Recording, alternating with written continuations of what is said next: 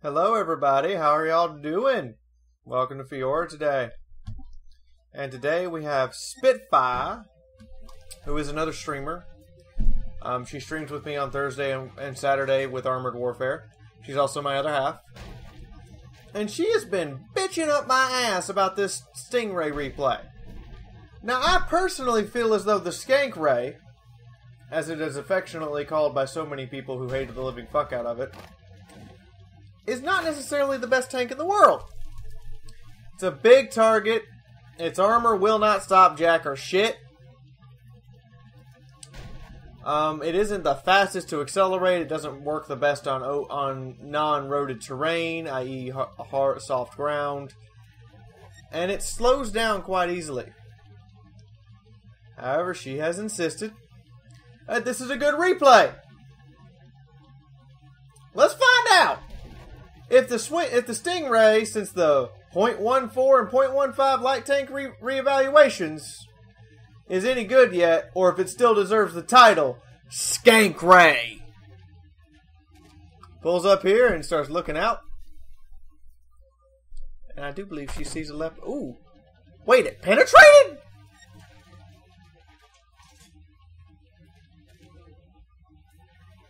God damn.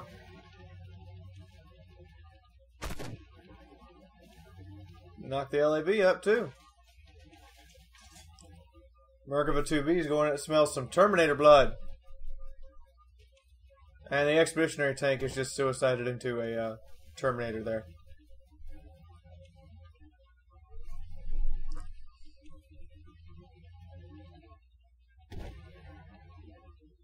Oh, she sees a Challenger. Can this thing even hurt a Charlie? Oh, nope, that's that's just a complete utter waste of shot. But that gun's reloading really quick now. Uh, I think she got spot. Yeah, yeah, yeah. She got slapped by probably the LAV 600 if it did 600 fucking damage. Jesus. Tier sevens just seem to have their damage scaled up way too high. If you if you were to ask me. But uh, yeah, now she's got to work at a uh, at really close range. Oh, that did not work out. Oof, if she'd hit the RDF, he'd be dead. That is a Challenger one. And even though she might have had a slight buff, I doubt she can take on any Challenger 1 right now. Nope, not gonna happen. Through the commander's cupola like everybody else usually does. Oh, that is a complete another just poof poof shot. Her allies behind her are exploding. Are you aware of this?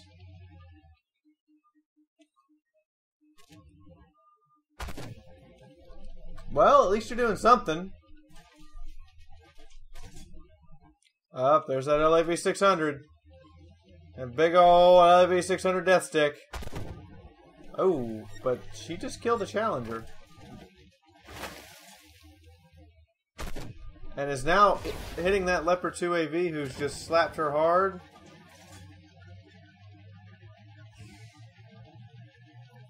Relocate, relocate. Use light tank special ability. Relocate the fuck elsewhere. And somebody is just hurling missiles. Is that, is that the M113 Striker? I think it is that M113 Striker just hurling missiles out there, holding those guys off heroically. She should really probably use a smoke grenade right about here to cover herself up so she can get out. That's just my opinion. It does have smoke grenades. Why not use them? However, this is a pretty freaking hair-raising situation. That VBL, though. That VBL, though. I don't know what the hell he's smoking.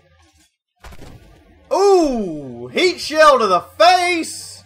We all heard the reload as she changed off shells. Up, Leopard 2 AV coming right in and he blows his load into the tracks.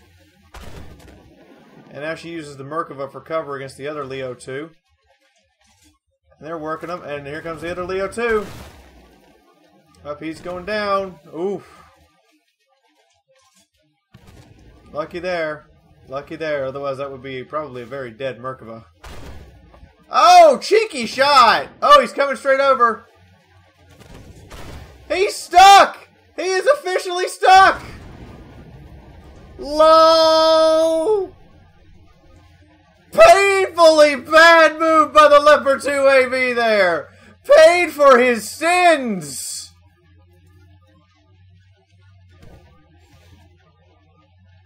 Something just exploded.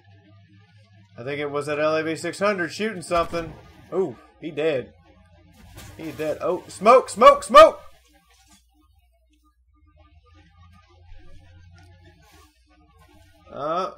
That's that LAV 600 across the way. Putting out shells. Putting out shot. And a VBL wipes it out. That Bradley, though. That Bradley's a VBL killer. How the fuck? You hit that! Jesus!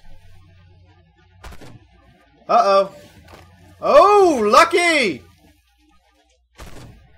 Nice! Nice kill! Lucky it missed! Nice kill! Oh, I'm in this match! I'm the goddamn Bradley back there! What am I smoking? I'm the fucking Bradley!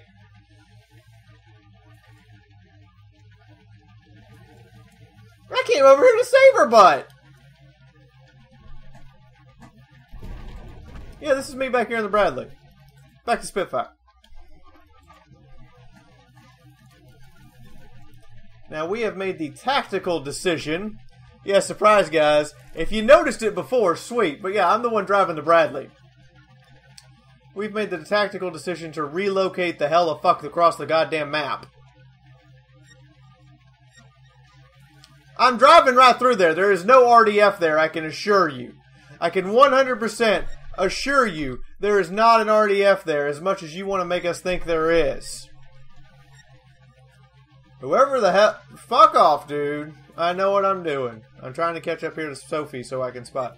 There's no tank there, dumbass!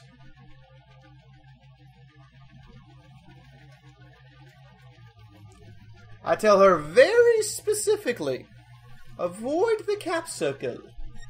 We don't want to let them know where we are. By the way, the jackass ping in the map is dead. He needs to stop that shit.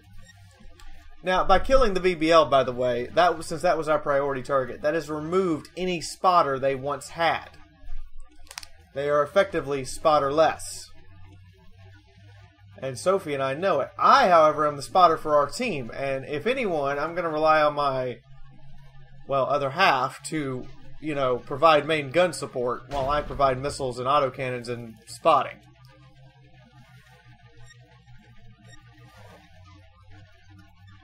So we are actually rushing back here to base as our main battle tanks valiantly hold them off.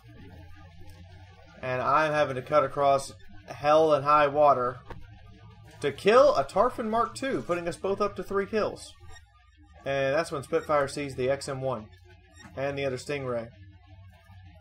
But she is spotted right now. Now you notice she hasn't used any of her smoke grenades, and that I have a problem with. You're a light tank. Your first instinct when you're spotted a lot of the time should be smoke it up. A lot of people don't seem to have that smoke it up instinct. Now, I'm moving forward still to try to get lights. Try to see these guys while Sophie is just pumping out shells into the side of that Challenger. Ooh, that sweet, sweet rear Challenger booty. And you heard my missile go off.